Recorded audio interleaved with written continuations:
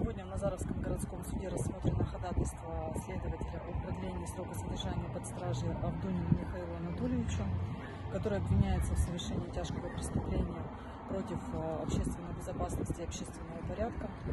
В судебном заседании Авду, э, Авдонин и его защитники возражали относительно заявки на следователя на ходатайство. Прокуратурой э, ходатайство поддержано, признано обоснованным.